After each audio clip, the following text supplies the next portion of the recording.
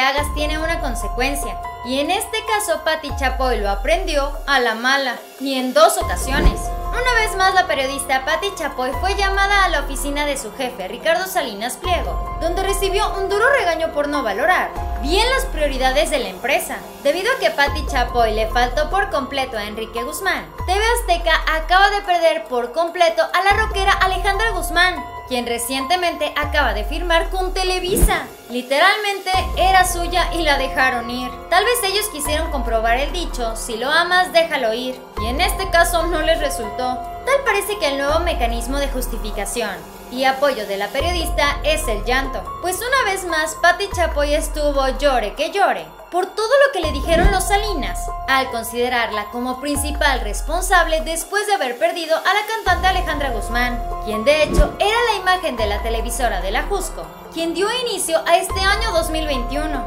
Literalmente en menos de medio año ella se les fue de las manos. A inicios de este año, la llegada de Alejandra Guzmán a la televisora de la Jusco nos dejó con el ojo cuadrado, pues bien se sabía que la reina de corazones se había formado en Televisa.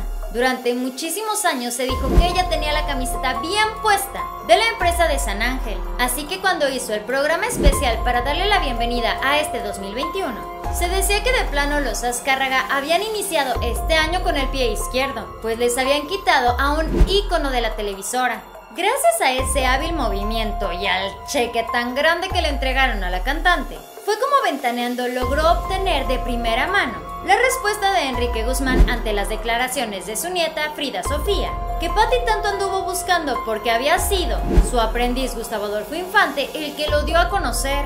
En la entrevista de Patti Chapoy con Enrique Guzmán, ella le mencionó, yo sí te creo Enrique, esto causó muchísima conmoción y señalamientos contra Patty en todo el internet. A ella se le señaló por haber dado un veredicto, desde mucho antes de haber conocido toda la historia, y asegurar que la nieta del cantante no decía la verdad. Y aunque en ese momento ella sí se ganó la simpatía de toda la familia Guzmán, el público pensaba lo contrario.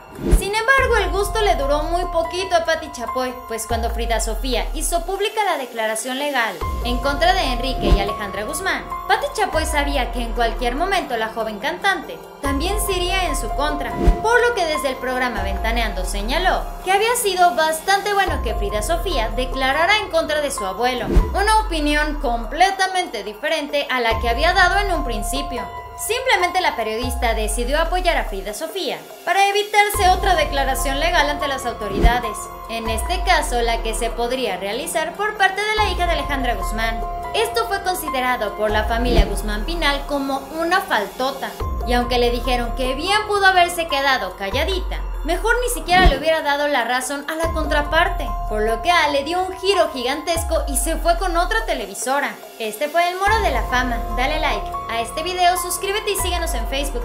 Pero antes de que te vayas, ¿qué te parece si checas este siguiente video? Espero que tengas un excelente día, nos vemos muy pronto. Bye.